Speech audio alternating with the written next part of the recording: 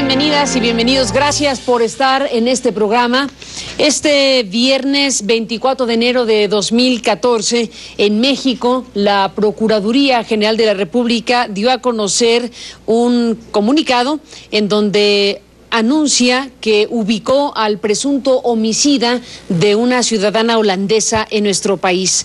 Eh, ha dicho la PGR que el eh, probable responsable de la comisión del delito de homicidio calificado de la holandesa Hester Susan van Neyrop pues eh, fue ubicado en la agregaduría regional de la PGR en una prisión en el estado de Mississippi, en los Estados Unidos. Cumplía una sentencia por el delito de reingreso indocumentado en el país vecino y es requerido por la Fiscalía General del Estado de Chihuahua. Hay más información que la PGR da a conocer en este comunicado, que más adelante le dará también eh, lectura en este mismo programa, pero le dejo con este dato principal, el anuncio de la PGR de la ubicación de este probable responsable del homicidio de esta joven holandesa. Em, en noviembre del año pasado, en noviembre de 2013, conversamos en este estudio de CNN con la madre de esta joven holandesa. Estuvo en este programa Arsène van Nierop, que es la madre de Hester, asesinada hace 15 años en Ciudad Juárez, eh, Chihuahua, en México. La joven holandesa fue encontrada bajo una cama con señas de, con señas de, señas de tortura y abuso sexual. Y bueno, eh, tal como nos lo contó en noviembre su madre, eh, en ese momento estaban de vacaciones en México, eh, no sabían de los acontecimientos de Juárez y les dijeron en Holanda, en la policía, precisamente lo que había sucedido.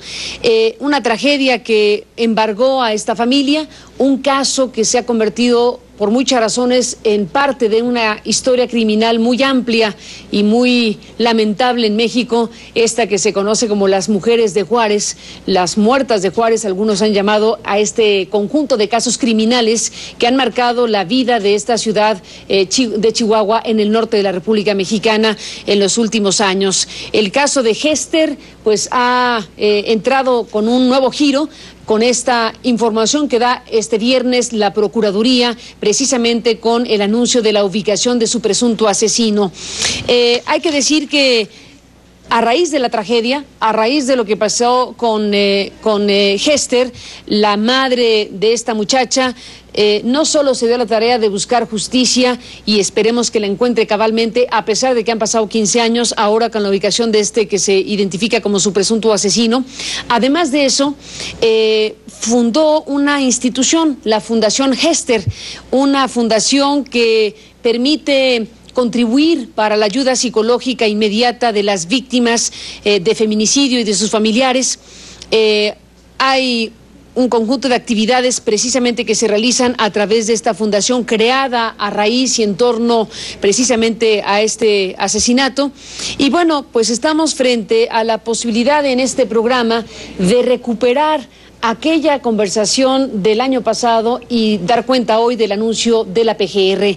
Lo voy a dejar con este fragmento que hemos seleccionado precisamente de lo que nos dijo en este programa de CNN en noviembre pasado eh, Arsène Van Neyrup, eh, hablando de Hester, hablando del momento que en ese instante estaba atravesando, de su visita a México y más adelante también en este programa vamos a recuperar las primeras reacciones de la madre que se encuentra en Holanda a raíz del anuncio que se hace en México este viernes. Eh, Siempre pensé que la policía mexicana iba a reaccionar de la misma forma de la policía de Holanda. Cuando usted tiene una tristeza tan profunda, usted no se da cuenta, usted no asume que la policía de la mexicana podía ser o trabajar de otra manera. Entonces siempre pensamos que, que iban a hacer la misma eh, investigación que la policía holandesa podría hacer. Empezamos a recibir información al principio, tenían un sospechoso, parecía que no había problemas, que lo iban a, a encontrar muy pronto al asesino, pero después no escuchamos nada. Seis meses después escuchamos de pronto que la policía había encontrado algo, que sabían cómo Hester había llegado a Ciudad Juárez. Pero es algo que nosotros le hubiéramos podido contar a la policía. Y nos sorprendió, ahí nos dimos cuenta de la forma en que la policía mexicana estaba trabajando. Finalmente, en 2004, cuando eh, regresé, eh, estuve en Ciudad Juárez en casa amiga este Chávez en ese momento era eh, directora, eh, ya murió, ya falleció, lamentablemente. Esther eh, arregló para nosotros una serie de citas durante toda esa semana y también con la policía. Recibimos mucha información. Queríamos saber cómo estaba el caso. Y la policía nos dijo simplemente que el policía que había encontrado a Hester esa persona nos dijo que había investigado profundamente el caso, pero después no se avanzó y otra persona fue puesta en el caso y yo ya no soy responsable de eso. Y lo único que tenemos es información general. Eso es más o menos la forma en que la policía mexicana nos ha tratado. Un desastre. Sí, claro. Ya.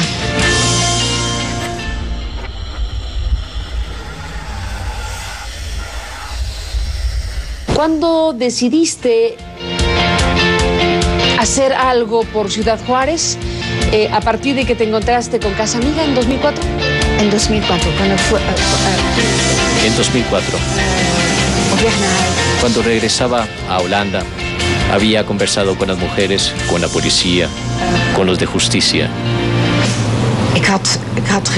Vi cómo la impunidad se imponía en Ciudad Juárez y cómo era imposible para las mujeres defenderse de la forma en que nosotros podemos hacerlo en Holanda. Obviamente que en Holanda hay víctimas de esto, pero los casos son resueltos. Y entendí que desde Holanda tenía que ayudar a estas madres porque solas no podían seguir adelante por ejemplo, no tienen dinero ni siquiera para pagar el bus e ir al centro. ¿Con qué tipo de ayuda desde Holanda se hacen cosas para Ciudad Juárez? Em, en principio, en principio recolectamos dinero. En, uh, we Empezamos con el pago de la, eh, del salario del psicológico, del psicólogo, de pedagogos. Algunos proyectos los fuimos financiando. Crisishulp. Por ejemplo, eh, ayuda en crisis. Voor, voor daar, daar, daar doen dan nou, duizenden mensen aan. Y miles de personas han sido beneficiadas a través de este curso. Información. Um, en uh, daarnaast hebben we Pudimos inaugurar una biblioteca en el centro, en Casa Amiga, con los libros de Esther Chávez para que las mujeres tuvieran acceso a esa literatura, a esa biblioteca. Empezamos con el curso de defensa personal. De autodefensa. Algunas de las cosas que Fundación Gester está haciendo para Ciudad Juárez o en Ciudad Juárez. Eh, Arsen, el tema de la justicia y lo que tú has vivido de un sistema caótico que impidió que el caso del asesinato de tu hija fuera resuelto bien, bueno, eh, es un es un caso de muchos otros, de muchas otras mujeres que en Ciudad Juárez han sido desaparecidas o asesinadas. ¿Tienes noticia de todas las cosas que han pasado en esta materia?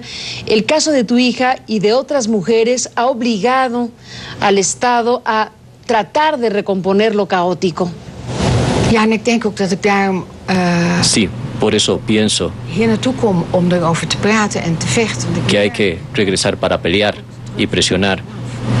Entendemos que la ayuda desde fuera, que la presión internacional hace que las autoridades mexicanas reaccionen y, presionan para que eh, solucionen los casos, se avancen las investigaciones. El feminicidio no es algo propio de Ciudad Juárez o de México. El feminicidio es algo que tiene lugar en todo el planeta, en todo el mundo. El problema es que en México olvidan castigar a los responsables. Esto no sucede. Y espero que estos avances en leyes, estas instituciones, por ejemplo, en Chihuahua, avancen en contra del feminicidio. Este que acaba usted de ver es otro fragmento de la conversación sostenida en noviembre pasado eh, en este programa con Arsène Van Nierop, esta madre de Hester Van Nierop, asesinada en Ciudad Juárez, Chihuahua, México, en 1998. Tal como le dije al principio de esta emisión, eh, la PGR emite este viernes 24 esta comunicación que dice que como resultado de la cooperación entre autoridades norteamericanas y la Procuraduría General de la República, se logró la detención de Roberto Flores a Ramiro Adame López inmediatamente después de su deportación de los Estados Unidos a México. Cabe señalar que Adame López fue ubicado por la agregaduría regional de la PGR en una prisión en el estado de Mississippi, donde cumplía una sentencia por el delito de reingreso indocumentado a los Estados Unidos y una vez que terminó de cumplir su pena en los Estados Unidos y en virtud de que carecía de legal estancia en dicho país, las autoridades de ambas naciones coordinaron su deportación para que la PGR ejecutara el mandamiento de aprehensión dictado en su contra al ingresar a territorio mexicano. Adame López cuenta con orden de aprehensión librada por el juez tercero penal de Distrito eh, Judicial Bravos, del juez tercero eh, penal de Distrito Judicial Bravos, dentro de la causa penal 554, diagonal 2003, por su probable responsabilidad en la comisión del delito de homicidio calificado de la holandesa Hester Susan van Nierop del mandamiento judicial del día 29 de septiembre de 1999 se desprende que Adame López, en compañía de Hester Susan Van Nierop, rentó una habitación de un hotel en la zona centro de Ciudad Juárez, Chihuahua.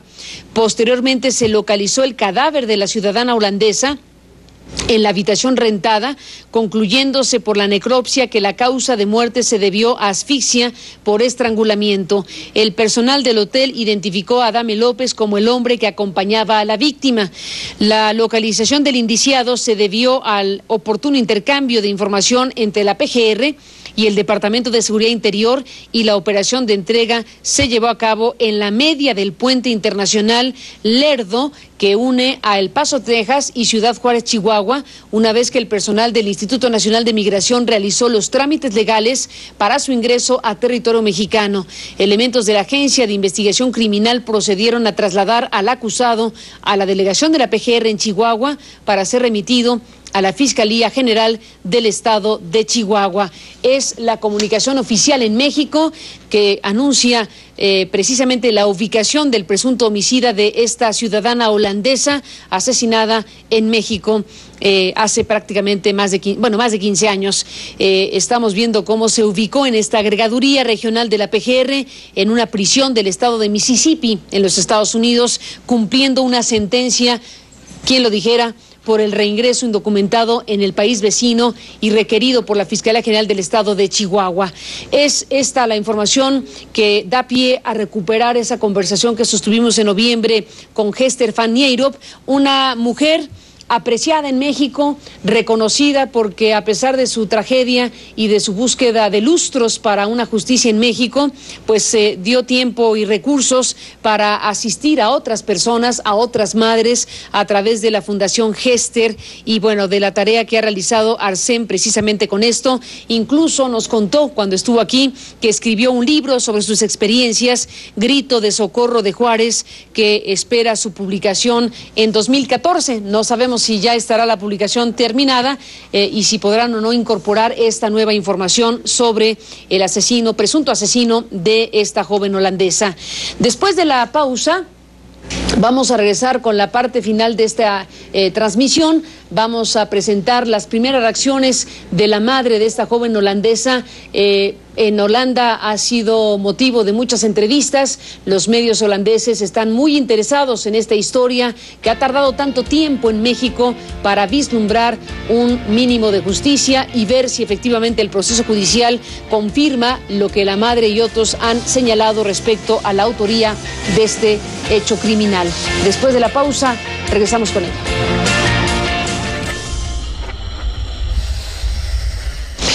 Bueno, entramos en la parte final de este programa que hemos dedicado a recuperar la conversación sostenida en noviembre con Arsène Van Nierop.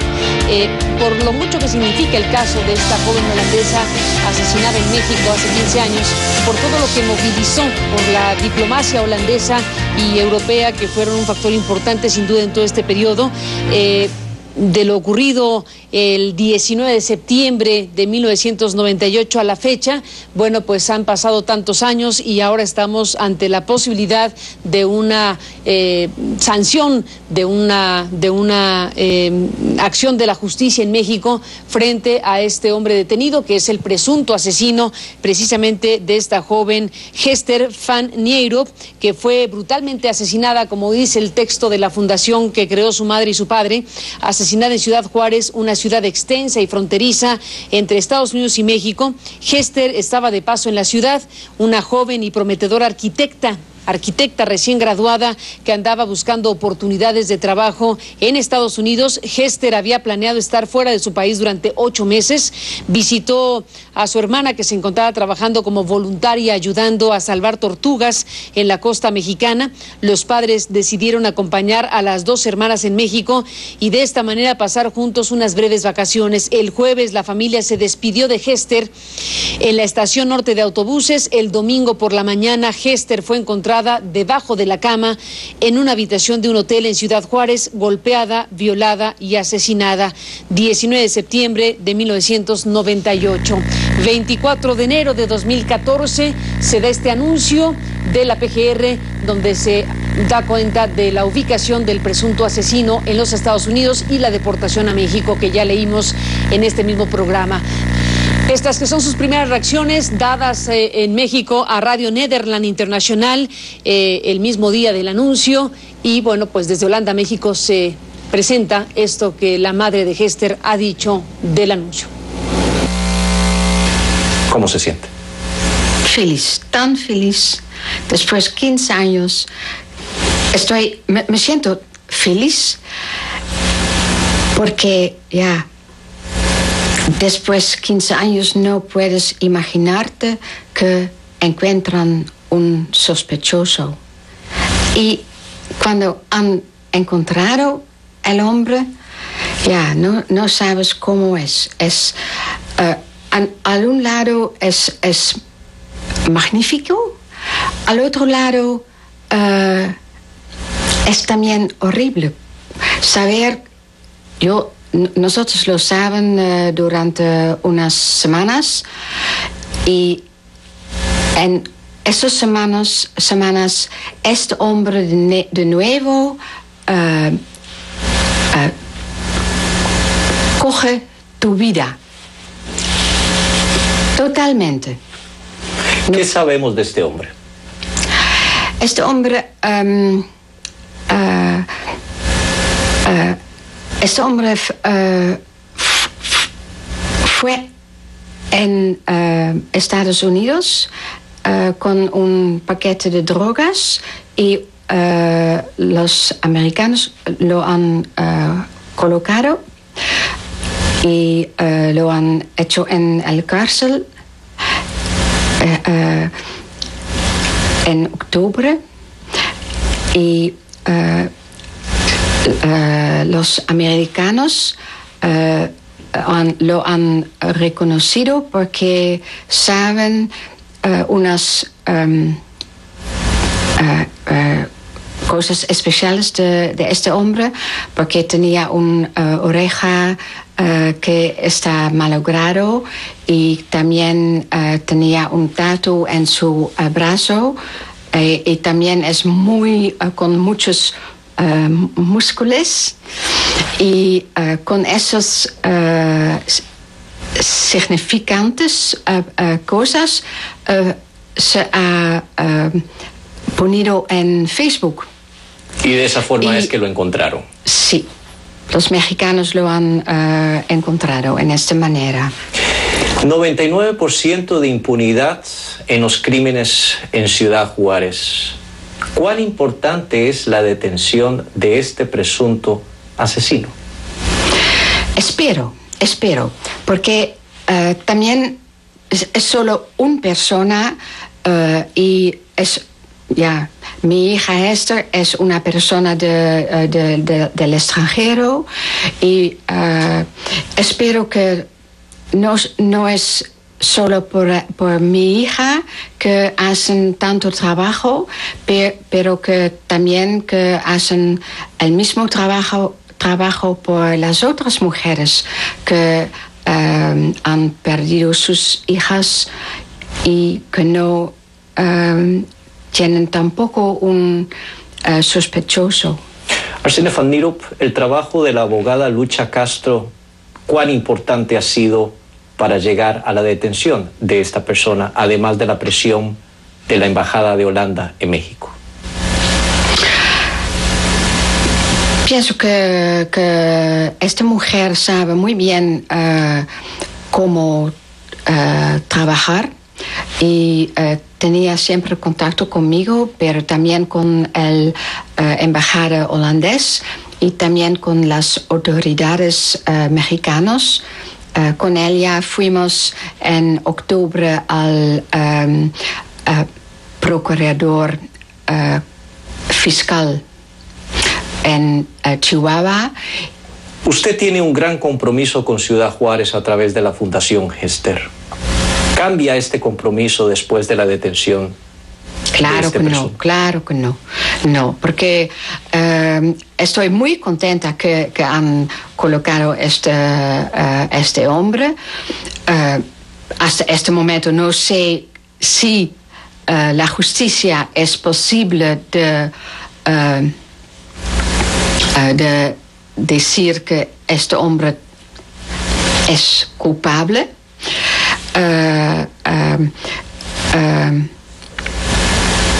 Sí, no sé, no sé, no más. Bueno, pues hasta aquí dejamos el programa. Gracias por permitirnos acompañarnos. Duro lo que dice la madre de la joven holandesa asesinada en México.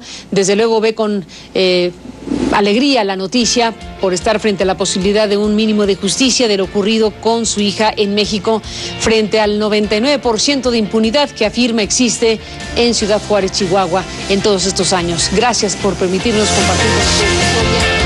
Hasta mañana. Pásela bien.